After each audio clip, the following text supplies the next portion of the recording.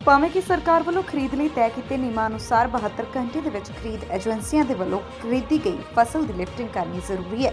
ਪਰੰਤੂ ਇਸ ਦੇ ਬਾਵਜੂਦ ਜ਼ਿਲ੍ਹਾ ਰੂਪਨਗਰ ਦੀ ਮੁੱਖ ਮੰਡੀ ਦੇ ਵਿੱਚ ਲਗਭਗ 17 ਦਿਨਾਂ ਤੋਂ ਖਰੀਦੀ ਗਈ ਕਣਕ ਦੀ ਲਿਫਟਿੰਗ ਨਾ ਹੋਣ ਕਾਰਨ ਪਰੇਸ਼ਾਨ ਹੋ ਰਹੇ ਆੜ੍ਹਤੀਆਂ ਤੇ ਮਜ਼ਦੂਰਾਂ ਵੱਲੋਂ ਪੰਸਪ ਖਰੀਦ ਦੀ ਏਜੰਸੀ ਦੇ ਖਿਲਾਫ ਨਾਅਰੇਬਾਜ਼ੀ ਕੀਤੀ।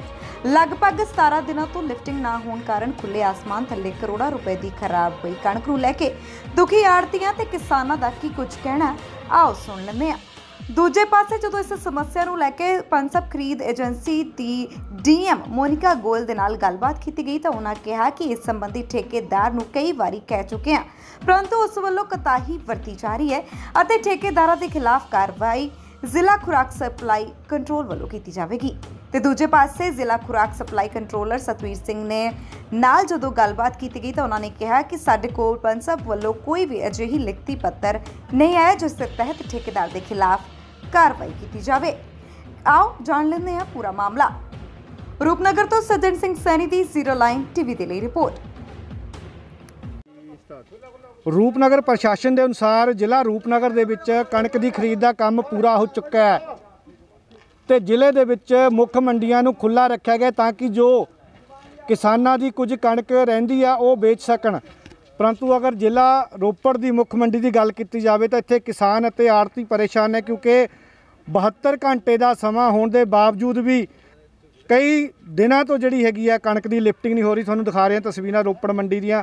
ਕਿ ਲਿਫਟਿੰਗ ਨਹੀਂ ਹੋਈ। ਹਾਲਾਂਕਿ ਸਰਕਾਰ ਵੱਲ- ਵੱਲੋਂ ਸਮਾਂ ਤੈਅ ਕੀਤਾ ਗਿਆ ਕਿ ਖਰੀਦਣ ਤੋਂ ਬਾਅਦ 72 ਘੰਟੇ ਦੇ ਵਿੱਚ ਖਰੀਦ ਏਜੰਸੀਆਂ ਵੱਲੋਂ ਕਣਕ ਦੀ ਲਿਫਟਿੰਗ ਕਰਨੀ ਹੁੰਦੀ ਹੈ। ਪਰੰਤੂ ਕਈ ਦਿਨਾਂ ਤੋਂ ਖੁੱਲੇ ਅਸਮਾਨ ਦੇ ਥੱਲੇ ਮੀਂਹ ਵੀ, ਬਰਸਾਤਾਂ ਵੀ ਪੈਂਦੀਆਂ ਤੇ ਇਸੇ ਤਰ੍ਹਾਂ ਕਣਕ ਜਿਹੜੀ ਖਰਾਬ ਹੁੰਦੀ ਹਾਲਾਂਕਿ ਆੜਤੀਆਂ ਵੱਲੋਂ ਤਰਪਾਲਾਂ ਦੇਣ ਦੀ ਕੋਸ਼ਿਸ਼ ਕੀਤੀ ਜਾਂਦੀ ਹੈ, ਪਰੰਤੂ ਉਹ ਗੱਲ ਨਹੀਂ ਬਣਦੀ। ਗੱਲ ਕਰਦੇ ਸਰ, ਅੱਜ ਇਕੱਠੇ ਹੋਏ ਹੋ, ਕਿਸ ਤਰ੍ਹਾਂ ਦੀ ਦਿੱਕਤ ਦਾ ਸਾਹਮਣਾ ਕਰਨਾ ਪੈ ਰਿਹਾ ਸਾਨੂੰ? ਸਰ, ਸਾਨੂੰ ਲਿਫਟਿੰਗ ਦੀ ਸਮੱਸਿਆ ਜੀ। ਸਾਨੂੰ ਡੀਐਮ ਮੈਡਮ ਤਕਰੀਬਨ 5-6 ਦਿਨ ਤੋਂ ਕਹਿ ਰਹੀ ਲਿਫਟਿੰਗ ਕੱਲ ਕਰਾ ਦਾਂਗੇ ਪਰਸੋਂ ਕਰਾ ਦਾਂਗੇ। ਪਹਿਲਾਂ ਇੱਕ ਸਾਡਾ ਸਰ ਸਰ ਪਹਿਲਾਂ ਅ, ਨਾਮ ਕੀ ਹੈ? ਇਹ ਕਿਹੜੀ ਕ- ਜਿਹੜੀ ਖਰੀਦ ਏਜੰਸੀ ਦੀ ਲਿਫਟਿੰਗ ਨਹੀਂ ਹੋ ਰਹੀ? ਇਹ ਮੇਰਾ ਨਾਮ ਜੀ ਬਲਦੇਵ ਸਿੰਘ ਗਿੱਲ ਜੀ। ਇਹ ਖਰੀਦ ਏਜੰਸੀ ਸੌ ਰੋਪੜ ਜੀ। ਇਹਦੀ ਲਿਫਟਿੰਗ ਨਹੀਂ ਹੋ ਰਹੀ ਕਈ ਦਿਨ ਤੋਂ ਜੀ। 50000 ਕੱਟਾ ਸਾਰੀ ਮੰਡੀ 'ਚ ਪਿਆ ਜੀ ਲਿਫਟਿੰਗ ਤੋਂ ਬਿਨਾ। ਤੇ ਅ, ਸਿਰਫ ਰੋਪੜ ਮੰਡੀ ਦੇ ਵਿੱਚ ਇਹ ਹਾਲਾਤ ਹੈ ਜਾਂ ਜ਼ਿਲ੍ਹੇ ਦੇ ਵਿੱਚ ਵੀ ਪੂਰੇ ਹਾਲਾਤ? ਨਹੀਂ ਸਾਰੇ ਜ਼ਿਲ੍ਹੇ 'ਚ ਇਹੀ ਕੰਮ ਹੈ ਜੀ। ਪੰਜ ਸੌ ਦਾ ਤਾਂ ਸਾਰਿਆਂ ਨਾਲ ਬੁਰਾ ਹਾਲ ਪਰਖਾਲੀ ਮੰਡੀ ਦੇਖ ਲਓ ਭਰਤਗੜ ਦੇਖ ਲਓ ਜੀ। ਠੇਕੇਦਾਰਾਂ ਨਾਲ ਮੈਡਮ ਮਿਲੀ ਹੋਈ ਹੈ ਜੀ। ਜੋ ਠੇਕੇਦਾਰ ਕਰਦੇ ਆਪਣੀ ਮਨਮਰਜ਼ੀ ਕਰਦੇ ਆ ਉਹਨਾਂ ਨੂੰ ਮੈਡਮ ਕੁਝ ਨਹੀਂ ਕਹਿੰਦੀ ਵੀ ਗੱਡੀਆਂ ਵੱਧ ਦੋ ਘੱਟ ਦੋ ਤੁਹਾਨੂੰ। ਇੱਥੋਂ ਸਵੇਰੇ ਕਹਿੰਦੇ 15 ਗੱਡੀਆਂ ਆਉਣਗੀਆਂ। ਗੱਡੀਆਂ ਆਈਆਂ ਤਿੰਨ। ਕਾ- ਕਾਰਨ ਕੀ ਹੈ ਜੀ ਫਿਰ? ਕਾਰਨ ਬੱਲੇ ਠੇਕੇਦਾਰਾਂ ਕੋਲ ਲੇਬਰ ਹੈ ਨਹੀਂ ਜੀ। ਠੇਕੇ ਲਏ ਹੋਏ ਲੇਬਰ ਉਹਨਾਂ ਕੋਲ ਹੈ ਨਹੀਂ। ਲਿਫਟਿੰਗ ਦੀ ਵਜ੍ਹਾ ਤੇ ਹੋ ਨਹੀਂ ਰਹੀ ਗੱਡੀਆਂ ਕਟਾਉਂਦੇ ਨਹੀਂ। ਵੀ ਜੇ ਗੱਡੀਆਂ ਵੱਧ ਕਟਾਉਂਗੇ ਤੇ ਗੱਡੀਆਂ ਖਾਲੀ ਨਹੀਂ ਹੋਣੀਆਂ। ਫਿਰ ਡਰਾਈਵਰ ਰੌਲਾ ਪਾਉਣਗੇ ਜਾਂ ਲੇਬਰ ਨਹੀਂ ਹੈਗੀ ਉਹਨਾਂ ਕੋਲ? ਤੇ ਜਿਸ ਤਰ੍ਹਾਂ ਜ਼ਿਲ੍ਹੇ ਭਰ ਦੇ ਵਿੱਚ ਖੁੱਲੇ ਅਸਮਾਨ ਤੇ ਥੱਲੇ ਲਿਫਟਿੰਗ ਨਹੀਂ ਹੋ ਰਹੀ ਕਣਕ ਪਈ ਹੈ ਜੇ ਬਰਸਾਤ ਦੇ ਵਿੱਚ ਖਰਾਬ ਹੁੰਦੀ ਆ ਤੇ ਫਿਰ ਜ਼ਿੰਮੇਵਾਰੀ ਕਿਹਦੀ ਹੈ? ਸਰਕਾਰ ਦੀ ਜ਼ਿੰਮੇਵਾਰੀ ਰਹੇਗੀ ਆੜਤੀ ਆੜਤੀਆਂ ਦੀ? ਸਰ ਇਹ ਆੜਤੀ ਜ਼ਿੰਮੇਵਾਰੀ ਜਿੰਦੇ ਨਾਲ ਆੜਤੀ ਕੋਲ ਮਾਲ ਪਿਆ ਜੀ ਤਾਂ ਆੜਤੀ ਨੇ ਢੱਕ ਕੇ ਰੱਖਣਾ। ਜੇ ਅਸੀਂ ਗਿੱਲਾ ਵੀ ਮਾਲ ਹੋ ਜਾਵੇ ਤਾਂ ਸਰਕਾਰ ਨੇ ਕਹਿਣਾ ਤੁਹਾਨੂੰ ਸੁਕਾ ਕੇ ਦਿਓ ਇਹਨਾਂ ਨੂੰ ਬੋਰੀਆਂ ਨੂੰ ਪਲਟੋ।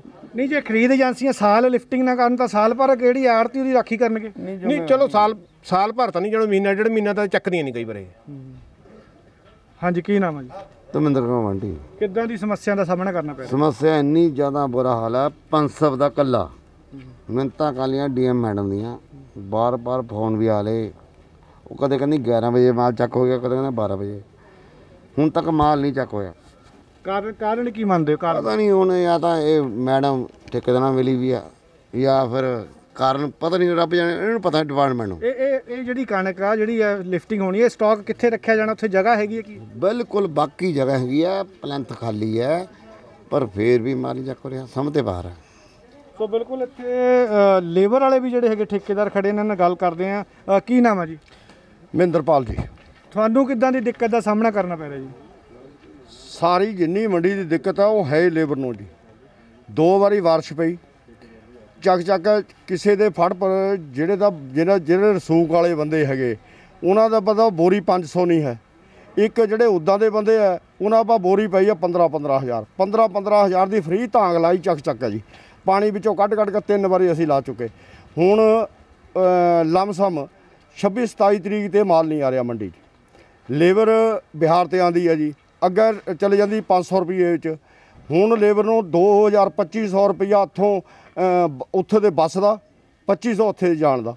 5000 ਹੋ ਗਿਆ 10-10000 ਰੁਪਇਆ ਪੰਜ ਪੰਜ ਉੱਦਾਂ ਖਾ ਲਿਆ ਉਹਦਾ ਵਿਹਲੇ ਹੋ ਕੇ ਬੈਠੇ। ਇੱਕ ਕਰੋਨਾ ਦਾ ਡਰ ਹੈ ਜੀ। ਅਸੀਂ ਇਹ ਗੱਲ ਕਹਿੰਦੇ ਆ ਵੀ ਤੁਸੀਂ ਫਟਾਫਟ ਮਾਲ ਚੱਕੋ ਜਿਹੜੀ ਇੰਨੀ ਲੇਬਰ ਹੈ ਇਹ ਆਪਣੇ ਆਪਣੇ ਘਰਾਂ ਨੂੰ ਚਲ ਜਾਵੇ। ਤੇ ਇੱਥੇ ਵੈਸੇ ਕਰੋਨਾ ਦਾ ਬਹੁਤ ਡਰ ਹੈ ਜੀ। ਕੰਮਕਾਰ ਕੋਈ ਹੈ ਨਹੀਂ ਸਵੇਰ ਨੂੰ ਬਹਿ ਜਾਂਦੇ ਆ ਬੋਰੀਆਂ ਦੇ ਉੱਪਰ ਬੈਠੇ ਆ ਜੀ। 100 100 150 150 ਰੁਪਇਆ ਖਾ ਕੇ ਸ਼ਾਮ ਨੂੰ ਅੰਦਰ ਜਾ ਕੇ ਸੌਂਦੇ ਜਿਹੜੇ 5-4000 ਰੁਪਇਆ ਕਮਾਇਆ ਵਾ ਮਹੀਨੇ ਦਾ ਉਹ ਇਹਨਾਂ ਨੇ 5-7 ਦਿਨ 10 ਦਿਨ ਚ ਖਾ ਕੇ ਆਪਣੇ ਘਰਾਂ ਨੂੰ ਵਿਹਲੇ ਹੋ ਕੇ ਚੱਲ ਜਾਣਾ। ਅੱਗੇ ਵਾਲਾ ਪਲੇਨ ਜਿੱਦਾਂ ਹੁੰਦਾ ਤੁਰ ਕੇ ਜਾਊਗੇ ਬਿਹਾਰ ਨੂੰ ਇਹ। ਕੀ ਮੰਗ ਕੀ ਕਰਦੇ ਹੋ? ਮੰਗ ਅਸੀਂ ਇਹ ਕਰਦੇ ਹਾਂ ਵੀ ਛੇਤੀ ਛੇਤੀ ਇਹ ਜਿਹੜੀ ਲਿਫਟਿੰਗ ਹੈ 55000 ਬੋਰੀ ਪੰਜ ਸੌ ਦੀ ਪਈ ਪੰਜ ਸੌ ਦੀ ਇੰਨੀ ਮਾੜੀ ਹਾਲਤ ਹੈ ਬਿਲਕੁਲ ਮਾਲ ਨਹੀਂ ਚੱਕਦੇ। ਅਸੀਂ ਮੈਂ ਸੈਕਟਰੀ ਪਾ ਗਿਆ ਜੀ ਲੇਬਰ ਨੂੰ ਨਾਲ ਲੈ ਕੇ। ਵੀ ਤੁਸੀਂ 72 ਘੰਟੇ ਕਹਿੰਦੇ ਤਾਂ ਹੁਣ ਤਾਂ ਦਿਨੇ 17 20 ਹੋ ਚੱਲੇ ਇਹਨੂੰ ਮਾਲ ਨੂੰ ਚੱਕ ਲਓ। ਸਾਰੀ ਜ਼ਿੰਮੇਵਾਰੀ ਲੇਬਰ ਦਾ ਸਿਰ ਹੈ ਸਿੱਟੀ ਵੀ। ਜਦ ਮੜ ਜਾ ਮੀਂਹ ਆਉਂਦਾ ਤਰਪਾਲਾਂ ਦੋ ਜੀ ਥੱਲੇ ਕਰੇਟ ਲਾਓ ਜੀ ਥੱਲੇ ਪਾਣੀ ਪੈ ਗਿਆ ਜੀ। ਮੰਡੀ ਦਾ ਇਹ ਹਾਲ ਹੈ ਕਿੱਟ ਕਿੱਟ ਪਾਣੀ ਖੜਦਾ ਥੱਲੇ। ਸੋ ਬਿਲਕੁਲ ਜਿੱਥੇ ਆੜਤੀ ਪਰੇਸ਼ਾਨ ਨੇ ਲਿਫਟਿੰਗ ਨਾ ਹੋਣ ਨੂੰ ਲੈ ਕੇ ਇੱਥੇ ਹੀ ਲੇਬਰ ਬਹੁਤ ਜ਼ਿਆਦਾ ਪਰੇਸ਼ਾਨ ਹੈ ਕਿਉਂਕਿ ਲੇਬਰ ਦੀ ਦਿੱਕਤ ਜਿਹੜੀ ਹੈਗੀ ਸਭ ਤੋਂ ਵੱਡੀ ਹੈ। ਜਦੋਂ ਮੌਸਮ ਖਰਾਬ ਹੁੰਦਾ ਤਾਂ ਲੇਬਰ ਨੂੰ ਜਿਹੜੀ ਹੈਗੀ ਆ ਬੋਰੀਆਂ ਟੱਕਣੀਆਂ ਪੈਂਦੀਆਂ। ਜੇ ਕੋਈ ਬੋਰੀਆਂ ਭੇਜਣ ਦੀਆਂ ਉਹਨਾਂ ਨੂੰ ਸੁੱਕੀ ਜਗ੍ਹਾ ਰੱਖਣਾ ਪੈਂਦਾ। ਜਿਸ ਨੂੰ ਲੈ ਕੇ ਲੇਬਰ ਨੂੰ ਬਹੁਤ ਦਿੱਕਤ ਦਾ ਸਾਹਮਣਾ ਕਰਨਾ ਪੈ ਰਿਹਾ। ਕੀ ਨਾਮ ਹੈ ਜੀ? ਲਲਿਤ। ਕੀ ਕਹਿਣਾ ਚਾਹੁੰਦੇ ਹੋ? ਜਿਹੜਾ ਇਹ ਸਭ ਕੁਝ ਹੋ ਰਿਹਾ 72 ਘੰਟੇ ਦਾ ਸਮਾਂ ਦਿੱਤਾ ਗਿਆ। ਸਰਕਾਰ ਕਹਿੰਦੀ 72 ਘੰਟੇ ਵਿੱਚ ਲਿਫਟਿੰਗ ਹੋਊਗੀ ਪਰ ਇੱਥੇ ਸੁਣਨ ਚ ਆ ਰਿਹਾ ਕਿ 20 ਦਿਨ ਹੋ ਗਏ ਲਿਫਟਿੰਗ ਨਹੀਂ ਹੋ ਰਹੀ। ਲਿਫਟਿੰਗ ਦੀ ਸਿਰਫ ਪੰਸ਼ਪ ਦੀ ਦਿੱਕਤ ਹੈ ਜੀ। ਕਮਲ ਠੇਕੇਦਾਰ ਨੂੰ ਕੱਲੇ ਕੱਲੇ ਆੜਤੀ ਨੇ ਇੰਸਪੈਕਟਰ ਨੇ ਫੋਨ ਕਰਤਾ ਕਿ ਮਾਲ ਚੁਕਾ ਦੇ ਗੱਡੀਆਂ ਦੇ ਦੇ। ਯੂਨੀਅਨ ਵਾਲੇ ਨੂੰ ਫੋਨ ਕਰਦੇ ਗੱਡੀਆਂ ਦੇ ਦੇ ਦਿੰਦਾ ਨਹੀਂ ਜੀ। ਉਹ ਕਹਿੰਦੇ ਜਦ ਤੱਕ ਕਮਲ ਠੇਕੇਦਾਰ ਨਾ ਕਵੇ ਅਸੀਂ ਗੱਡੀ ਕੋਈ ਨਹੀਂ ਦੇਣੀ। ਕਮਲ ਠੇਕੇਦਾਰ ਕਿਉਂ ਨਹੀਂ ਚੱਕ ਰਿਹਾ? ਕਾਰਨ ਕੀ ਮੰਨਦੇ ਹੋ? ਹੁਣ ਦੇ ਕਮਲ ਨੂੰ ਪੁੱਛੋ ਜੀ। ਕਮਲ ਨੂੰ ਇੰਨੀ ਯੂਨੀਅਨ ਵੀ ਕਈ ਵਾਰੀ ਆੜਤੀ ਫੋਨ ਕਰਦੇ ਕਿ ਫਲਾਣੇ ਆੜਤੀ ਨੂੰ ਗੱਡੀਆਂ ਦੇ ਦੇ। ਯੂਨੀਅਨ ਵਾਲੇ ਕਹਿੰਦੇ ਜੀ ਗੱਡੀਆਂ ਦੇ ਪੈਸੇ ਤੂੰ ਦਊਂਗਾ। ਗੱਡੀ ਦੇ ਪੈਸੇ ਆੜਤੀ ਥੋੜੀ ਦਊਂਗਾ ਦਊਂਗਾ ਤਾਂ ਕਮਲ ਠੇਕੇਦਾਰ ਉਹਨੇ ਠੇਕਾ ਲਿੱਤਾ ਤੇ ਲੇਬਰ ਦੇ ਪੈਸੇ ਤਾਂ ਉਹੀ ਦਊਂਗਾ ਨਾ ਗੱਡੀਆਂ ਦੀ ਢੋ ਢੋਆਈ ਦਾ।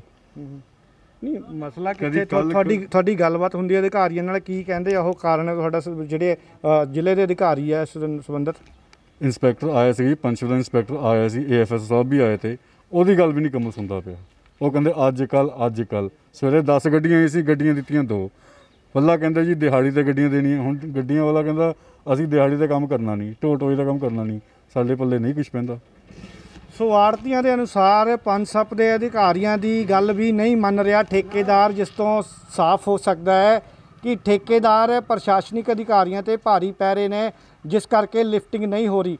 ਤੇ ਹੁਣ ਦੇਖਣਾ ਹੋਵੇਗਾ ਕਿ ਇਹ ਮਸਲਾ ਕਿੰਨੀ ਕੁ ਜਲਦੀ ਹੱਲ ਹੋਵੇਗਾ ਜਾਂ ਫਿਰ ਇਸੇ ਤਰ੍ਹਾਂ ਖੁੱਲੇ ਅਸਮਾਨ ਦੇ ਥੱਲੇ ਸਰਕਾਰ ਵੱਲੋਂ ਕਰੋੜਾਂ ਰੁਪਏ ਨਾਲ ਖਰੀਦੀਆਂ, ਕਣਕ ਦੀਆਂ ਬੋਰੀਆਂ ਖਰਾਬ ਹੁੰਦੀਆਂ ਰਹਿਣਗੀਆਂ।